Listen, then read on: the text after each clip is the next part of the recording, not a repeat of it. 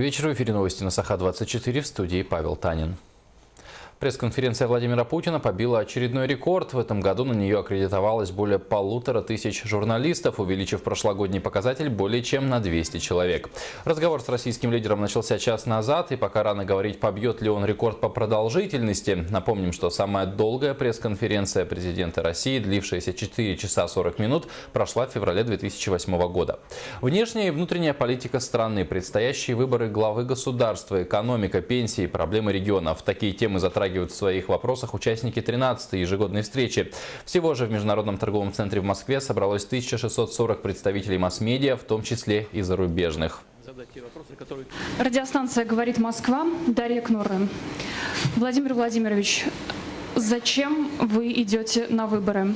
Какова ваша цель, ваша миссия? Что вы хотите сделать для России? И какой вы видите ее в конце вашего срока? Если вы победите на выборах. Спасибо. Я бы не хотел сейчас говорить о предвыборной программе, которая у меня, так же как и у других кандидатов, наверняка будет, должна быть. Она у меня практически уже есть. Повторяю, сейчас, наверное, не тот формат, когда можно ее презентовать, но могу вам сказать, главное, на чем, я считаю, необходимо сосредоточить внимание и э, власти, и всего общества это э, такие вопросы, как э, развитие инфраструктуры, если говорить конкретно, это инфраструктура, здравоохранение, образование, это, э, как я уже сказал, высокие технологии, повышение производительности труда, и это, без всяких сомнений, все должно быть нацелено на то, чтобы повысить доходы граждан, повысить доходы наших людей. Вот это в самых общих чертах. Но по ходу сегодняшнего разговора, я думаю, мы к этому еще неоднократно вернемся. В Якутске продолжаются тренировочные сборы экстренных служб республики. Накануне участники наблюдали за ликвидацией пожаров в крупном торговом центре, а сегодня на переправе Хатас и Павловск прошли практические занятия государственных инспекторов по маломерным судам. С подробностями Виталий Абрамов.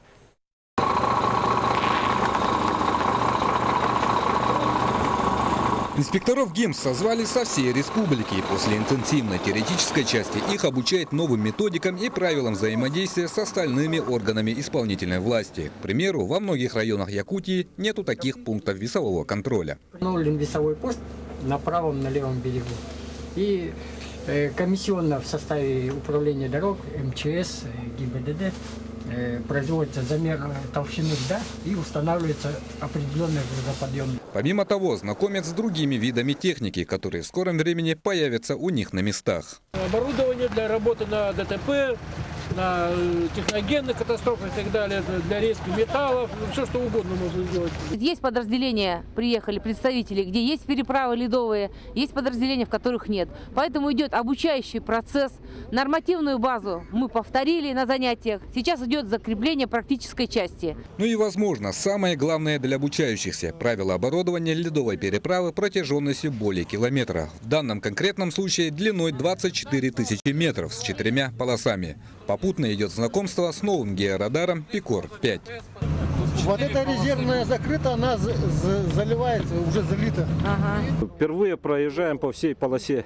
Например, у нас э, переправа протяженность где-то 500 метров, 500-600, а здесь получается более 20 километров. И как бы мне это более интересно, чем стоять на берегу, там как бы знаки получаются одинаковые, вешки и так далее. Вот то, что это. И вот некоторые районы, у которых нет переправ, они тоже друг другом делятся опытом. Очень интересно, как бы познавательно, что действительно э, контроль точный проводится, не так, не на глаз, как мы, допустим, смотрим, или по путевым листам, э, это самое, может быть, тоже как бы скрывают грузоподъемность транспорта. Вот. Но здесь, конечно, уже не обманешь. Кроме того, большое внимание было уделено вопросам информирования населения, прогнозу рисков на водных объектах, оказанию первой медицинской помощи, а также государственного и технического надзора за ледовыми переправами. Виталий Абрамов, Владимир Таюрский, НБК Саха, Якутск. Семьи погибших и пострадавшие в ДТП на трассе Колыма получат материальную помощь. Распоряжение о выделении средств подписал председатель правительства Якутии Евгений Чекин. Согласно документу, по 300 тысяч рублей будут выплачены семьям погибших в аварии граждан, по 100 тысяч рублей пострадавшим во время ДТП. НКО и бизнес вовлекут в сферу оказания социальных услуг. Эту актуальную тему подняли на круглом столе в рамках Дней Якутии в Москве. Видеоконференция охватила две столицы страны и республики, а также все районы региона. У общества растет спрос на качественные социальные услуги. Для расширения их спектра государство поддерживает и вовлекает в работу малый и средний бизнес. В республике для поддержки социально ориентированных некоммерческих организаций правительство приняло распоряжение до 2020 года. Из бюджета выделяют субсидии, также регион участвует в реализации реализации грантов президента России. В 25 районах приняты муниципальные программы поддержки. Действуют ресурсные центры по юридическому и организационному сопровождению. В негосударственном секторе созданы и работают около 2000 социальных НКО и более тысячи предпринимателей, которые предоставляют услуги в области здравоохранения, образования, спорта и отдыха. Все некоммерческие организации создаются с целью решения каких-то социальных проблем в обществе. И, как показывает практика, они с этим э, очень неплохо справляются. И поэтому и э, в России принято такое решение о том, что необходимо привлекать эти некоммерческие организации именно к оказанию социальных услуг населению, чтобы они имели полноправное право вместе с государственными и муниципальными учреждениями оказывать эти услуги. Это не только даст им возможность получить какие-то гарантированные средства в виде компенсации, но и с другой стороны это развивает и конкурентность между учреждениями и организациями и повышает э, качество услуги. Тем временем в Якутске открыли Центр по выплате пенсии и обработке информации. Ему передали часть функций, которые ранее выполняли территориальные органы Пенсионного фонда России. Это ведение регистрации учета страхователей, предоставление информации из базы данных в рамках межведомственного взаимодействия, формирование и ведение сведений о получателях государственной услуги. На церемонии открытия побывала Сарглана Федорова. Одно из приоритетных направлений деятельности Пенсионного фонда – внедрение современных форм и методов работы в процессе установления и выплаты пенсий, в том числе и путем оптимизации структуры. Подобное преобразование позволит перейти на электронные процессы и сократить обработку информации, что исключит вероятность коррупционных рисков на разных уровнях обработки пенсионного процесса. Новый центр будет осуществлять электронное взаимодействие с территориальными управлениями, с доставочными организациями, а также между межведомственное взаимодействие с государственными и муниципальными учреждениями. Если раньше у нас было 22 территориальных управления, работающие непосредственно с доставляющими организациями, то сейчас у нас один единый центр, который будет работать непосредственно из города Якутска. Выплата пенсии у нас производится через доставляющие организации. Это Почта России и кредитные учреждения. Также э, Центр занимается обработкой информации.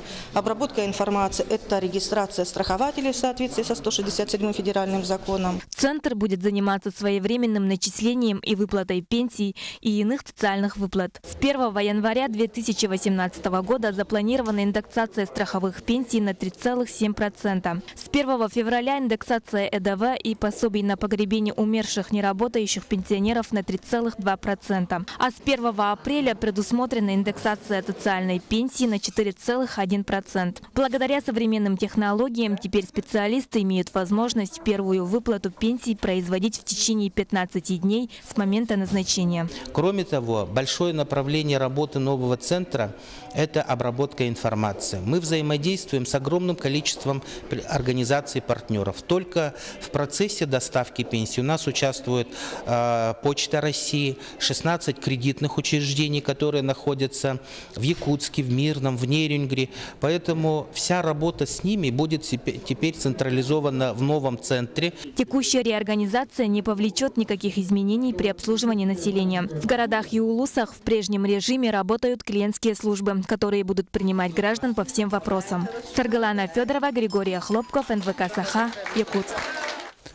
Северо-Восточный федеральный университет получил патент на новый способ получения пищевой рыбнокостной муки с сохранением питательных и вкусовых свойств. При этом ВУЗ впервые стал обладателем евразийского патента на изобретение.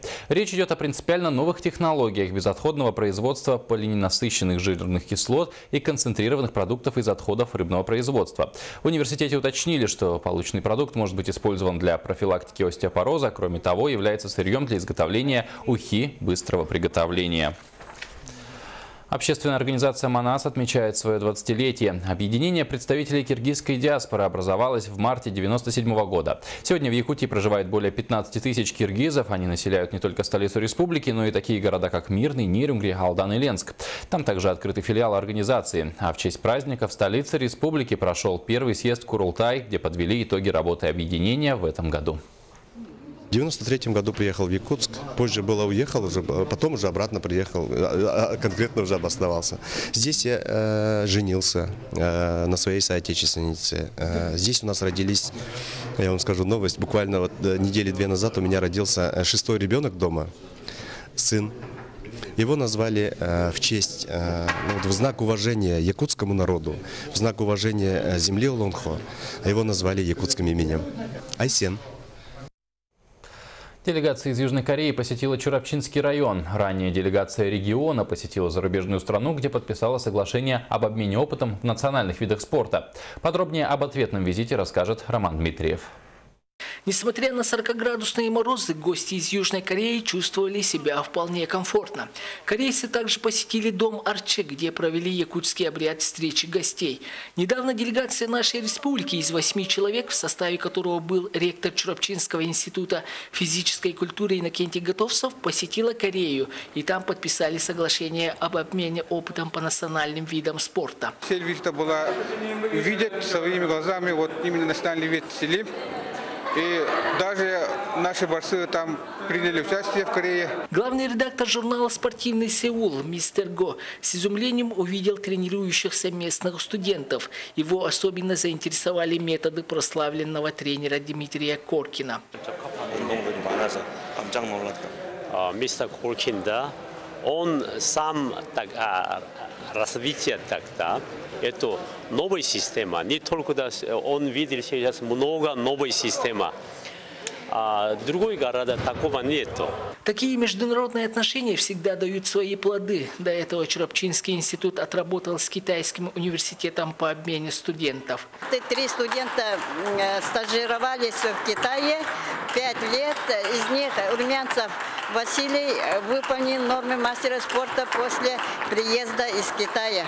Они сейчас ведущие теннисисты в республике и даже на дальневосточном регионе. По словам гостей, корейские национальные единоборства с Серым очень схожи с якутской вольной борьбой. Делегация работала весь день, посетили спортивные объекты села, встретились с работниками института по обширным вопросам.